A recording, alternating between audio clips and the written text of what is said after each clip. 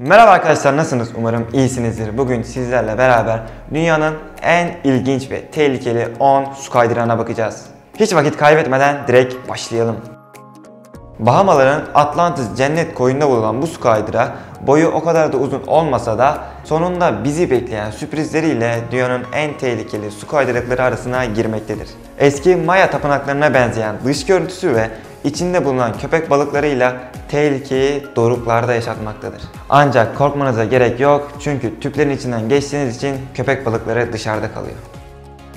Dünyanın en hızlı su kaydıraklarından biri olan Summit Plummet, Amerika'nın Florida eyaletinde bulunmaktadır. Disneyland'ın içinde bulunan bu su kaydırağının uzunluğu 36 metre, saatteki hızı ise 57 km saattir. Ayrıca kaydırağın etrafındaki beyaz dekorlar da karlı dağdan kayıyormuş hissi vermektedir. 49 metre uzunluğuyla dünyanın en uzun ikinci kaydırağı olan Kilimanjaro, Brezilya'nın Rio şehrinde bulunmaktadır. Yerel halkın pek de çıkmayı tercih etmediği bu kaydırağı genellikle turistler tarafından ilgi görmektedir. 90 derecelik bir açıyla kaydırağın bu kaydırağımız size dünyanın en heyecanlı ve en ürkütücü anlarını yaşatabilir.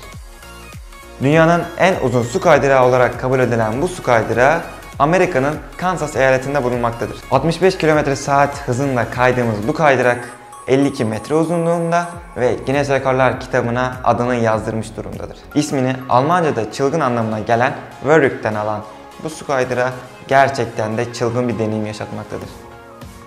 Dünyanın ilk yokuş yukarı giden su kaydırağı olarak bilinen Master Blaster Amerika'nın Texas eyaletinde bulunmaktadır. 300 metre uzunluğunda ve 6 katlı bina kadar yüksek olan bu su kaydırağı oldukça ürkütücüdür. Amerika'nın ilk dikey su kaydırağı olarak bilinen akrep kuyruğu Wisconsin Dells eyaletinde bulunmaktadır. 10 katlı bina yüksekliğinde ve 100 metre uzunluğunda olan bu su kaydırağımız saniyede 10 metre yol almaktadır.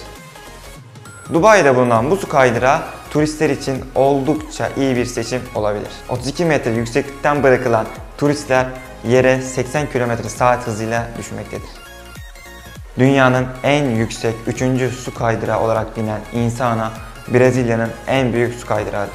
Çok dik bir yapısı olduğu için başından sonuna varılması 5 saniyedir. Evet 5. 62 km saat hızıyla inerken manzaranın tadını çıkarmayı unutmayın. Tabi 5 saniye sürse de. Evet arkadaşlar bugün de sizlerle beraber dünyanın en tehlikeli ve en heyecanlı 10 su kaydırağına baktık. Umarım videoyu beğenmişsinizdir. Abone olun ve bu videoyu beğenmeyi unutmayın. Kendinize çok iyi bakın. Görüşmek üzere.